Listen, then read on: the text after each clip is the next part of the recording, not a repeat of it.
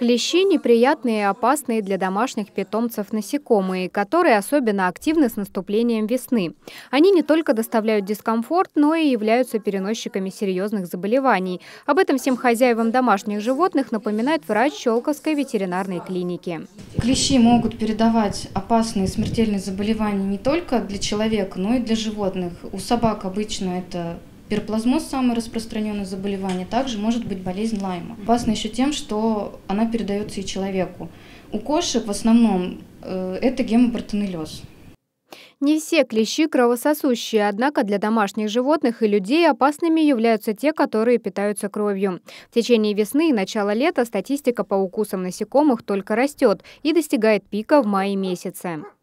Жарким летом клещи становятся менее активными, их все больше можно встретить во влажных и тенистых местах. Однако после первой волны наступает вторая, с сентября по октябрь. Это значит, средства защиты от насекомых необходимо использовать на протяжении всей весны, лета и осени, пока держится плюсовая температура. Лучшая защита от клещей – это регулярная профилактика, заключающаяся в своевременной и полноценной обработке от клещей. Формы препаратов для обработки клещей бывают различные. Это и капли на холку, самые распространенные э, препараты. Это и таблетки, это наиболее современные средства. И ошейники, и в том числе спреи. Угу. Спреи, они являются короткодействующими препаратами, поэтому их лучше наносить непосредственно перед прогулкой. Капли на холку наносятся непосредственно на кожу, раздвигая шерсть. Это тоже очень важно, иначе капли могут не помочь. И многие капли смываются. Это тоже нужно учитывать при обработке.